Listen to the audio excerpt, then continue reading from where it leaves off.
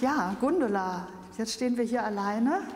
Draußen schneit es, als wäre es bestellt. Wir haben gerade geschaut, alle Muster kann man erkennen auf der Straße. Ich denke, es ist genau ein Wetter, was gut zu deinen Bildern passt. Die Ausstellung heißt Mangoblüte und Windrose. Da denkt man ja zuerst mal an zwei Pflanzen. Das sind sie ja nicht wirklich. Wie kam es denn zu dem Titel und was verbindest du damit? In Peru wohne ich auf einer riesengroßen Hacienda mit ganz viel Obstbäumen, unter anderem bestimmt 30 äh, Mangobäumen. Und die blühen im August. Da ist da eigentlich Winter. Aber die Jahreszeiten sind nicht so wie hier. Und wenn die Mangoblüten blühen, die sind so Kerzen, wie ein kleiner Tannenbaum, ne? Mhm. so kerzenförmig. Zauberhaft. Die verströmen einfach eine ganz zauberhafte Energie. Und äh, dort ist auch sehr viel Wind am Pazifik. Und ich lasse meine Gedichte, ich schreibe ja auch Gedichte. Ich habe also in den letzten 30 Jahren über 40, über 200 Gedichte geschrieben.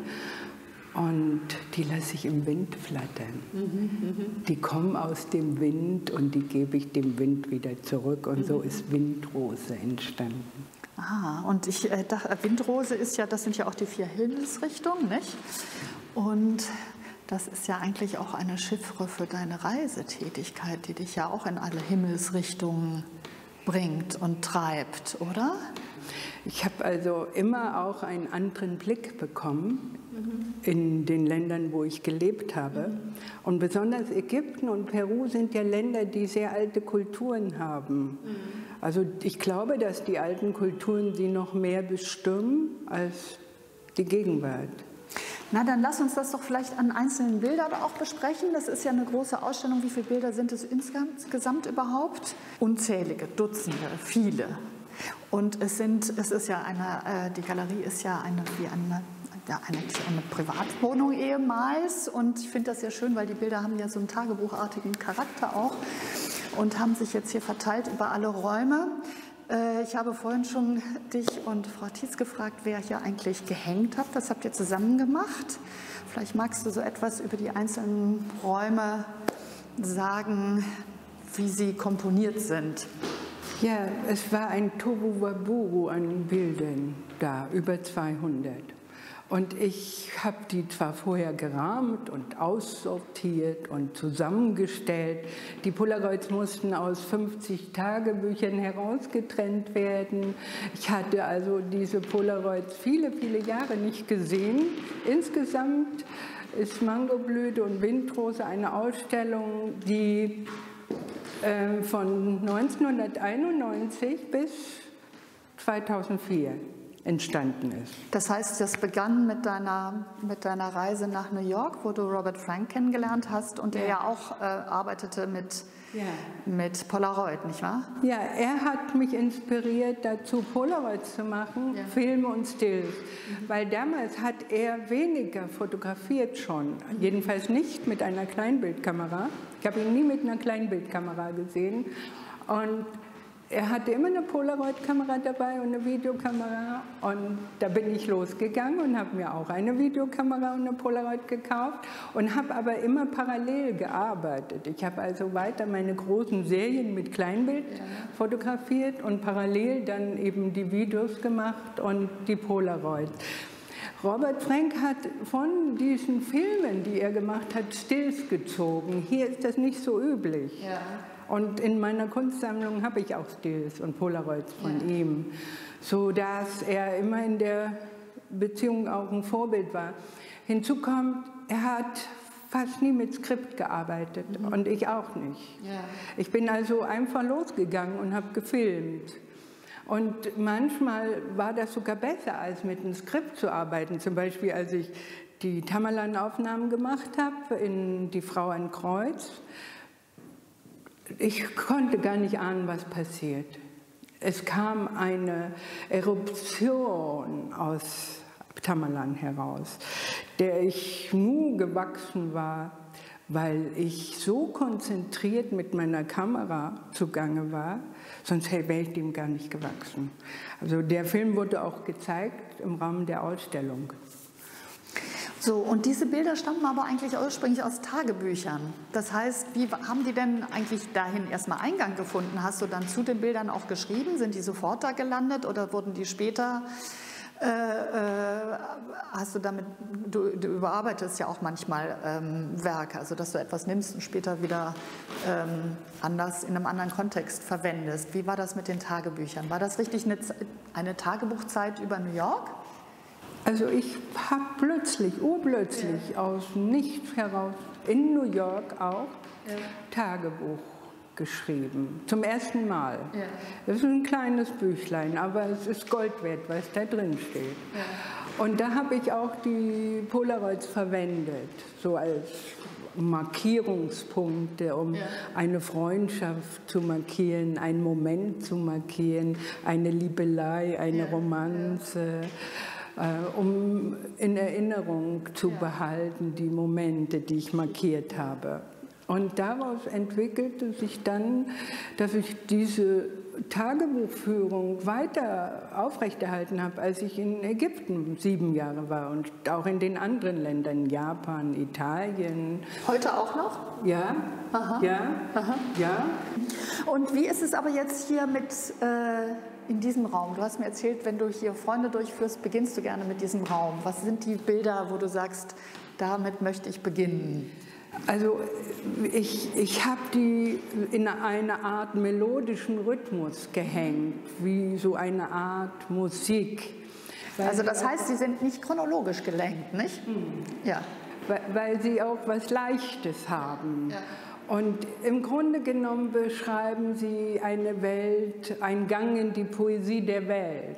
Ja, die ich Dann sind das also eher Assoziationsfelder sozusagen, die du ich habe mich eigentlich immer auch als Poetin verstanden, von Anfang an. Also in gewisser Weise findet man hier auch Aspekte wieder, die schon in Berlin in einer Hundenacht zu sehen sind, ja, vom Poetischen her. Wollen wir uns mal irgendeins aussuchen, was dich was dir wichtig Hier, diese Situation ist entstanden, in, oftmals ganz absurd. Ja. Ich war ähm, in einem Gespräch verwickelt mit einem Ägypter, der ein wenig seltsam drauf war und plötzlich kam dieser Mann, ja, und ich dachte mir, mein Gott, der nimmt ja den ganzen Weg ein, ja, wie, kommen, wie können wir den jetzt vorbeilassen? Und da habe ich noch schnell dieses Foto gemacht.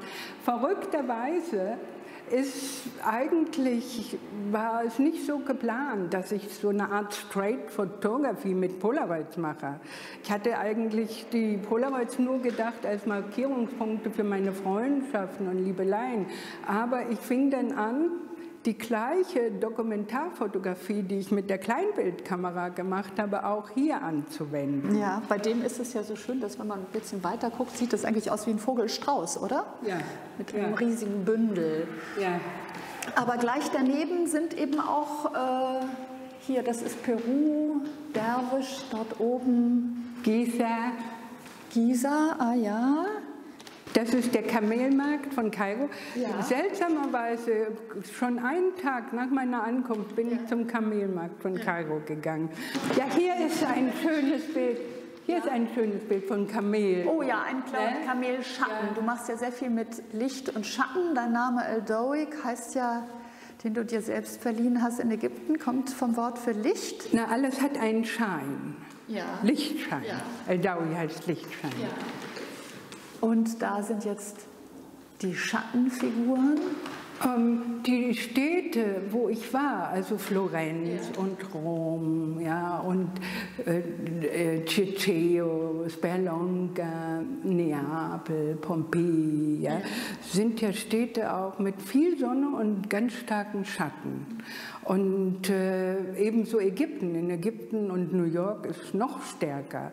Und deswegen habe ich mein Augenmerk schon immer auch auf die Schatten gelegt ne? Mhm. und habe Schatten beobachtet. Und es ist ganz interessant, dass jeder Mensch einen anderen Schatten hat, ja. vom Charakter her, wenn man das analysiert. Ne? Ja, darunter sieht es ja auch noch aus, als würde es wirklich so Feuer aufscheinen, wie, im, in, wie so ein geheimnisvolles Feuer, das man selbst nicht sieht und von dem man nur das, die lodernden Reflexe sieht. Ja, wir sind sehr oft durch die Wüste geritten und mussten dann manchmal doch äh, an einen Wasserkanal lang, wo auch viele Palmen waren. Und so, da ist das Bild entstanden. Also wir sind manchmal den ganzen Tag in der Wüste geritten und da guckten nur die Spitzen von den Pyramiden raus, weil es viel, viel mehr Pyramiden in Ägypten gibt, als bekannt sind, massenhaft. Und ich habe den Luxus gehabt, dass ich manchmal einfach alleine losgeritten bin, dann mit meinem Pferd, weil die schneller sind. Dann habe ich mich auf so eine Spitze von der Pyramide gesetzt, habe das Pferd einfach frei herumlaufen lassen. Ja, das war die reinste Wonne. Und die Pyramiden waren das auch letztendlich, die dich dann später von Ägypten nach Peru gebracht haben, oder? Ja. Da gibt es ja. plötzlich eine Kontinuität. Es wird ja öfters darüber erzählt, also du erzählst gerne auch davon, wie, wie du sozusagen von der Straight Photography dann nach Ägypten kommst und dann plötzlich so einen anderen Zugang findest, der sehr viel spiritueller ist. Ich war ja hatte dort eine Wohnung in Giza und war komplett eingebunden in ja. das Leben. Ich habe ein Leben geführt wie eine Ägypterin und es erstaunt mich heute noch, weil ich ja auch alleine war als Frau. Es erstaunt mich heute noch, wie die Ägypter mich behandelt haben. Ja, ja also zauberhaft. Dann gehen wir mal in den nächsten Raum. Hier ist Pompeji. Pompeji, ja, mit den wunderbaren Fresken. Da bist du. Und ein Archäologe, ich habe leider seinen Namen vergessen, hat die Hohlräume ausfindig gemacht von den Menschen, die gestorben sind in Pompeji. Die sind ja nicht durch den Ausbruch von Lava gestorben, sondern durch einen gigantischen Ascheregen. Ich weiß nicht, wie viele Meter, aber bestimmt acht oder zehn Meter. Mhm. Sogar ein Hund auch dabei. Und er hat die glorreiche Idee gehabt, in die Hohlräume mhm. ne, dann flüssigen Alabaster hineinzuleiten. Mhm. Und so sind diese Abgüsse entstanden von den Menschen, die gestorben sind. Und die durftest du dann dort? Damals waren die noch zu sehen. Heute ist ja alles. Mir wurde gesagt, sie sind nicht mehr da und auch die Fräsen sind nicht mehr da. Ja. Es sind noch viel mehr Fräsen, das sind jetzt nur einige, es sind mindestens doppelt so vielen Teil auch in Neapel im Stadtmuseum. Damals war ich schon in New York, aber Domenico Di Liello, ein Fotograf aus Pozzoli, das ist der Ort, wo Maria, so, ähm, äh, wie heißt es, Sophia Loren geboren ist. Das liegt bei Neapel, dort wo die phlegräischen Felder sind. Der lud mich ein nach Italien. Aha. Und als wir in Pompeji waren, da erzählte mir bestimmt zehnmal dieselbe Geschichte mhm. von Aeneas. Er hat mir die zehnmal erzählt. Ja. Hat er in mir mein Interesse für das Altertum geweckt? Geweckt, ja, ja. Und das Traumhafte ist bei dir aber auch ganz wichtig in deinem Werk, oder? Sind, gibt es Träume, die dich auch zu Sachen, Tätigkeiten veranlassen? Hast du also ich bin da meinen eigenen Weg gegangen. Hier hängt ein Traum weiter, weiter auf der Himmelsleiter, den ich als Erzählung verarbeitet habe. Die, die Schwelle zwischen Realität und Nichtrealität, also die Schwelle zwischen Traum und Wirklichkeit, Vision, Fantasterei, Fantasie, Vorstellung, die kann, die, die, das Ende und den Anfang kann ja keiner beschreiben. Also die gehen ja nahtlos ineinander über. Und ich als Künstlerin hatte da schon immer meine eigene Sicht. Und später, als ich dann mit Schamanen in, Ägypten, in Peru zusammengelebt habe, bin ich auf die gleiche Anschauung gestoßen. Sie sehen alles als Realität an, was wir sind. Mhm. Gedanken, Gefühle, Träume, Erlebnisse. Alles, was uns bestimmt und was uns ausmacht in diesem Leben, ist für sie Realität. Hier sind die Mumien Kiliki, du warst ja immer sehr interessiert ja, auch an den Mumien. Den ägyptischen, ja, die von dann gibt es ja jetzt einen Bogen von den pompeianischen hin zu den ägyptischen. Ich erinnere mich an viele, an Föten vor allen Dingen auch, aber es sind auch Erwachsene dabei, nicht? Und die hast du nur ganz, ganz mit Sondergenehmigung durftest du die ohne äh, elektrische Beleuchtung, mit Langzeitbeleuchtung, aber trotzdem nur ganz kurz aufnehmen, oder? Ja, also die ägyptischen Königsmumien sind jetzt nicht dabei, die Pharaonen. Die habe ich in Peru gleich am Anfang meiner Reise gesehen. Und zwar habe ich bei einem berühmten Provinzpolitiker auf der Hacienda gewohnt und der hatte eine kleine Antikensammlung und zeigte mir dann diese berühmte Mumien, weil die sind in der Nähe von Palpa äh, Ica in, in Paracas entdeckt worden. Und in, in, ich erinnerte mich dann an Nofretete, die, die Tochter, von, der, von den Töchtern sind ja sehr schöne Skulpturen ja, auch ja. Äh, da in, im Museum ne, von Berlin, im ägyptischen Museum. Normalerweise nennt man die Glockenköpfe. Aber ich finde diese Bezeichnung nicht besonders gut. Hier gibt es Landschaftsbilder, sehe ich, Pyramiden, Ägypten. Ich habe von einem General dann einen Hubschrauber geliehen bekommen und bin über den Gizeh-Pyramiden geflogen. Ja, und da hatte ich auch zum Teil Filmaufnahmen gemacht zum Teil Kleinbildaufnahmen, die ich sehr groß vergrößert habe und auch Polaroids. Ja. Und hier sind die Pyramiden der Moche-Kultur und der Chimu. Also die sind alle unten am Meer. Es war ein sehr reiches, riesiges Imperium. Ich habe mir wieder ein Flugzeug in Chiclao am Flughafen ausgeliehen und bin mit Nacho Alba, der, der Sohn des berühmten Walter Alba, ein sehr berühmter Archäologe, bin ich mit ihm über die Pyramiden von Tucumán geflogen. In, in, Peru gibt es richtige Pyramidenstädte, also zum Teil mit 50, 60 bis zu 100 Pyramiden. Also sie müssen generationenlang nur mit dem Pyramidenbau beschäftigt gewesen sein. Nochmal hier. Ja, es gibt so Korrespondenzen, die manchmal zufällig sind. Ja. Also ich gehe immer auch, äh, wenn ich jetzt an Orten lebe wie Moskau oder Wien, dann gehe ich immer in die Geschichte rein. Mich hat immer interessiert, wer hat hier Geschichte gemacht, wer ist noch lebendig in der Erinnerung dieser Völker. Und das war in Moskau natürlich Andrei Rubeljow. Mhm, ja, ja. Und da bin ich ins Atrolnikow-Kloster gegangen. Ja.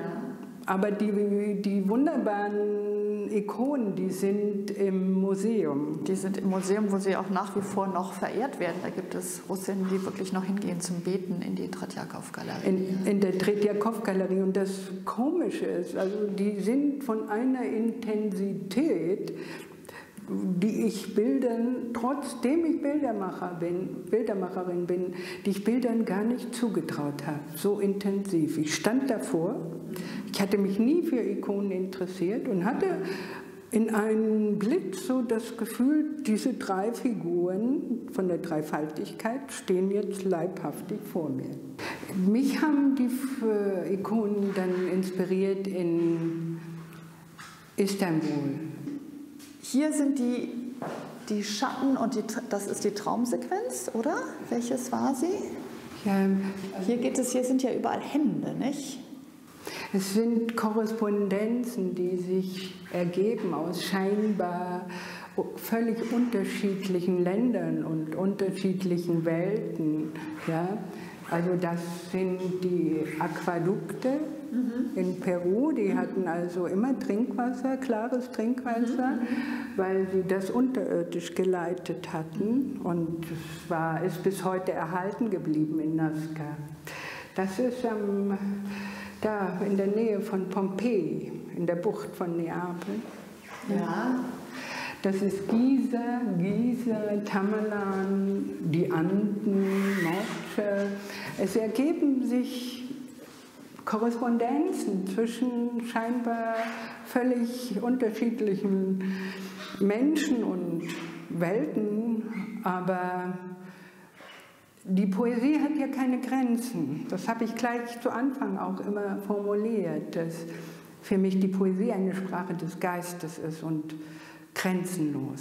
Hier sehe ich etwas, das ist ein, äh, hier ist ja eine Spiegelung drin. Als wir vom, im äh, Vorderraum waren, sah man zu einem gewissen Moment ja auch Spiegelungen von draußen, jetzt von der schneebeschneiten Stadt, die sich auf den äh, Bildern dann plötzlich zeigten. Inwieweit, das sind ja so Zufälle auch, wie weit ist, spielt für dich das auch nochmal eine Rolle? Ich bin ein Mensch, der erstmal nur versucht. Alles, was ich in meinem Leben gemacht habe, sind Versuche. Ich wusste nie am Ende, was dabei herauskommt. Und sehr viel ist auch Spielen. Ich spiele gerne, also wie ein Kind auch.